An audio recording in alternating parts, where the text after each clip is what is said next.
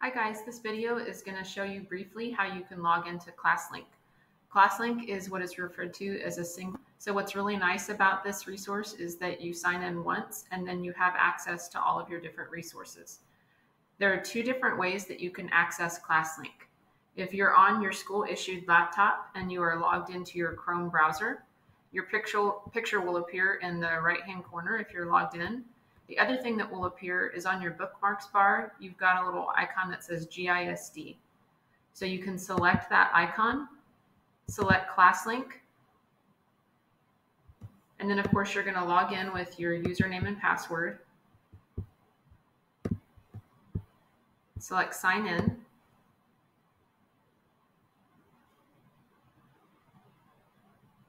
And then once you've signed in, you have access to things like your gradebook, GISD Skyward student.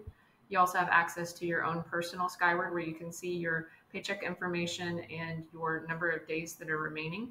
You can log into your Gmail. There's all types of different resources that you have access to, including your online textbooks and Google Classroom and any really any Google functionality that you need is here in ClassLink.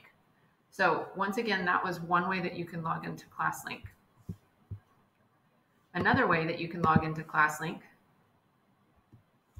is by going to the Georgetown ISD website. So this is the way that you would use if you were using a different device and were not logged into the Chrome browser.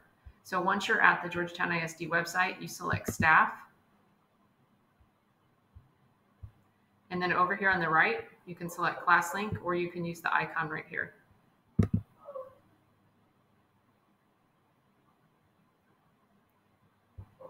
You would normally have to sign in, but I'm obviously signed in in the background. And so just a couple of other things I want to show you is that you can go up here to your little icon on the right and go to my profile. And then there are some different things you can do to customize your profile over here. You can change your little icon, your image. You can um, go ahead and change the background, some fun little things like that in your ClassLink.